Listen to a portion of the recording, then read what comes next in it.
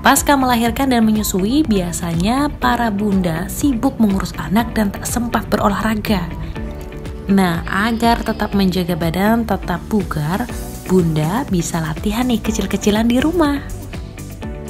Tapi dengan stroller. Wah, gimana ya caranya? Kita tanya yuk sama Ateni Fitria, prenatal dan postnatal certified trainer.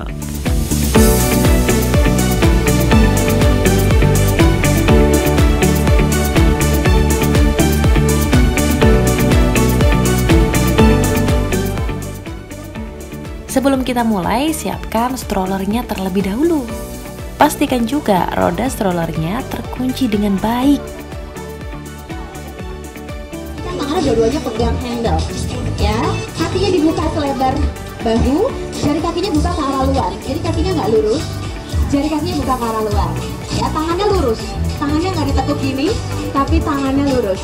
Oke, dari sini tarik nafas turun, buang nafas up tarik nafas turun? And up oke okay. itu gerakan yang pertama. Gerakan yang kedua nanti kakinya bawa ke belakang sebelah ya. Satu kaki bawa ke belakang.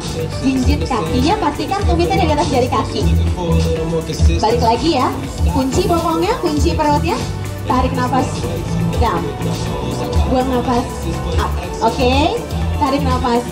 Down buang nafas up delapan kanan delapan kiri bisa bisa dong ya. Yang terakhir, gerakan yang terakhir ini pegang masih sama. Kemudian kaki yang di sisi luar. Bunda jadi nanti ngadepnya ke sisi kanan atau kiri. Ya, boleh.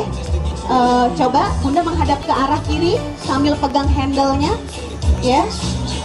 Jadi Bunda akan pegang handle menghadap ke arah sana.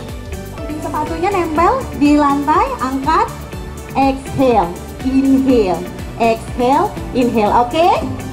Bisa?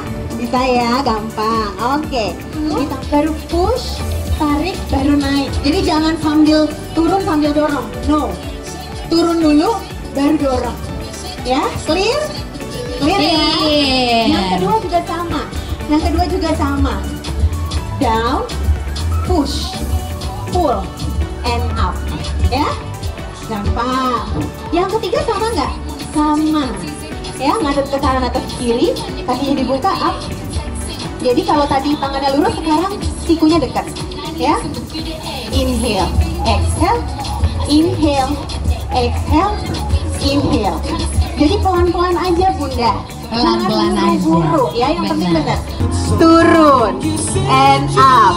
Dorong. Tarik and down. One more ayo moms. Selamat mencoba ya. And pull turun. Oke sudah selesai